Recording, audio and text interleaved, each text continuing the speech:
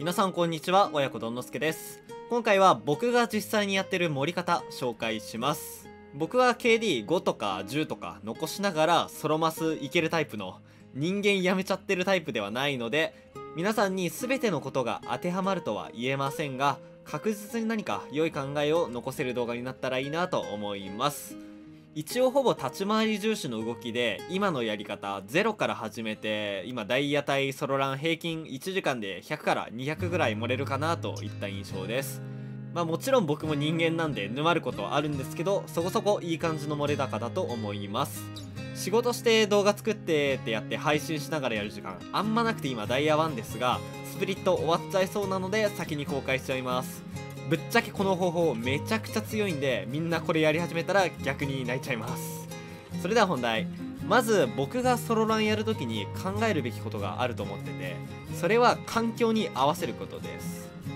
今の APEX は視野が流行ったことによりガスオジが流行ってでそのガスオジが流行ったことによってアンチムーブが増えてアンチムーブが増えたことによってロングボウや G7 の評価が上がっています。もちろんアプデの影響もあるんですけど大まかにこんな感じなはずです。要するに今は部隊数が残りやすい。そしてロングでの打ち合いが多い環境です。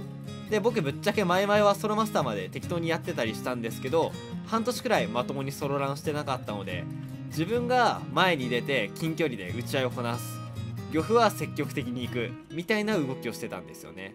でそうなると今の部隊数が多い。ロングが多い環境でやってしまうとまあ一瞬でいろんなパーティーに囲まれてワンパは倒せるんですけどそこから死ぬってことがめちゃくちゃ多かったです。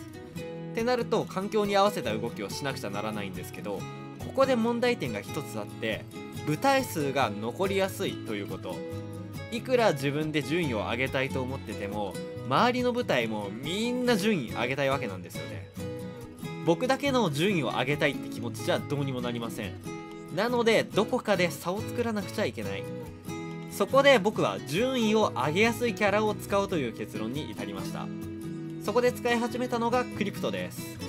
ぶっちゃけほとんど使ったことないキャラだったし連のなくてウルトの使い方も全然分かってないままランクで運用しても結構いけるキャラでした。まあもちろんどうやって使うのかっていうのは覚えなくちゃいけないので、えー、クリプトの強み覚えていってください。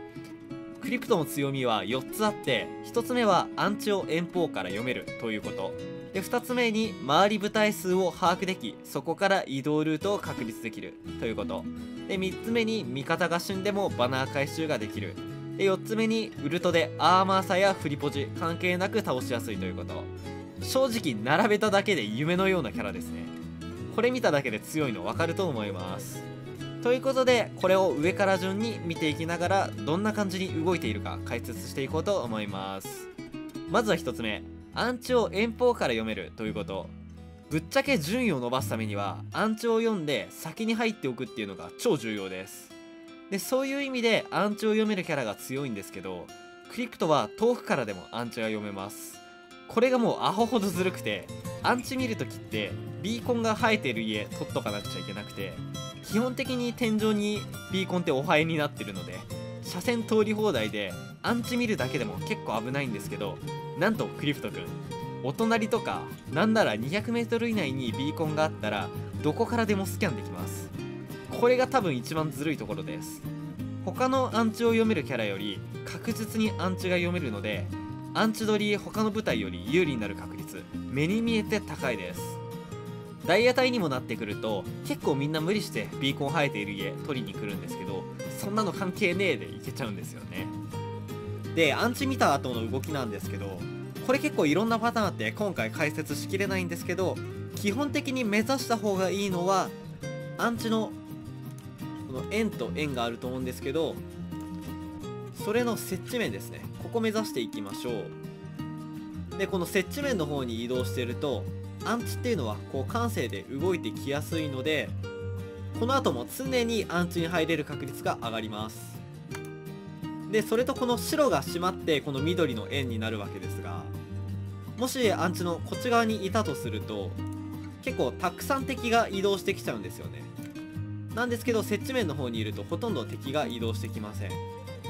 なので敵と当たるリスクも減ります。でこの接地面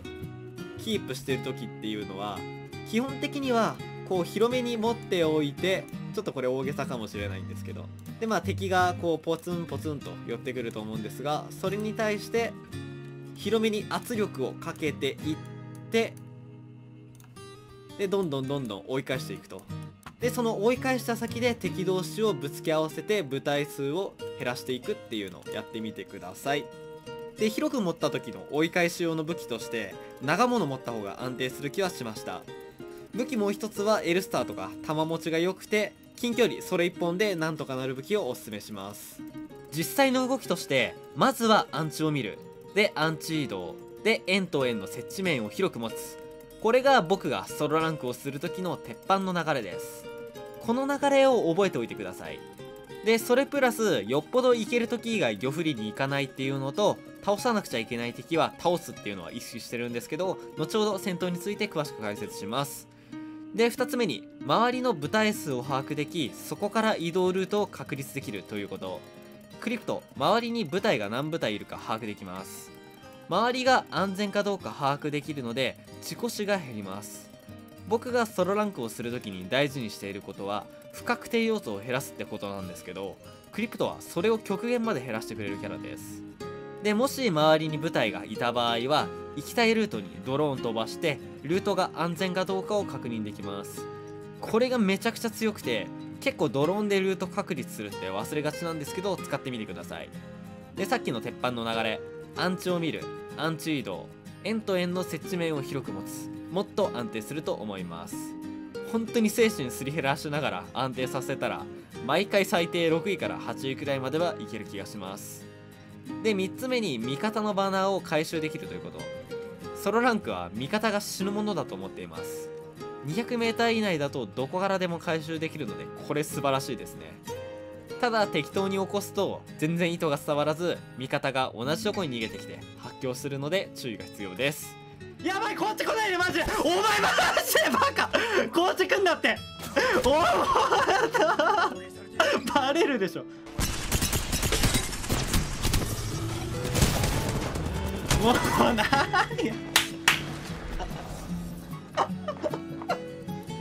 おい。で最後にウルトでアーマーさやフリポジ関係なく倒しやすいということ。アンチムーブをしてるとアーマーが弱いまま最終盤まで行ってしまうこと本当に多いんですよね。そんな時に強いのがウルトです。これちょっとさっき話してた倒さなくちゃいけない敵を倒す時にめちゃくちゃ良くてウルトで50ダメージずつ入るのでこっちのアーマー弱かったとしてもうまくやれば全然勝てます。ドローンくっつけてから前出ながらウルトってパターンとウルト出してから自分も動き出すってパターンがあると思うんですけどソロだと後者の方がやる機会多いかなという印象でした。で倒さなくちゃいけない敵っていうのはアンチを取るときにできるだけ強いポジションを取りたいので強いポジを取ってる敵まあ攻めたい敵ですね。そこに攻撃ピンをまず必ず立ててください。そうすると味方ももちろん同じランク帯で全然下手ではないのでクリプトだしあウルト出すんだなっていうのを察してくれてウルトプラス前押しで強いポジ取り返せる確率めちゃくちゃ上がると思います。基本的には戦闘は魚振りにはほとんど行かずに倒さなくちゃいけない敵とアンチを取ってアンチ外から走ってくる敵を一方的にボコボコにするのをできる範囲で繰り返すことが多いような気がします。実際漁夫も昨日4時間ちょっとランクやってて1ゲージ増やしてきたんですけど1回とかしか行ってないレベルでしたね。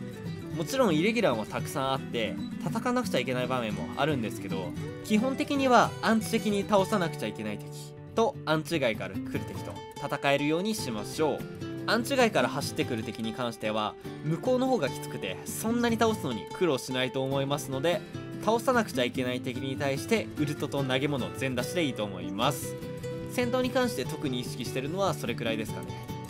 基本的には鉄板の動きアンチミルアンチ移動円と円の接地面を広く持つ。ぜひ意識してみてください。まあ、どちらかというとキルポは結構拾えるけど順位伸ばせてないよって人ほど変わると思います。もちろんクリプトやること多くて難しいキャラだとは思いますがとんでもねえスペック秘めてるんでぜひ試してみてください。それでは今回の動画はここら辺で。参考になったらグッドとチャンネル登録ぜひよろしくお願いします。本当に励みになります。えー、その他情報は Twitter などでつぶやいたりします。こちらもフォローしてくれると嬉しいです。それでは以上親子どんのすけでした。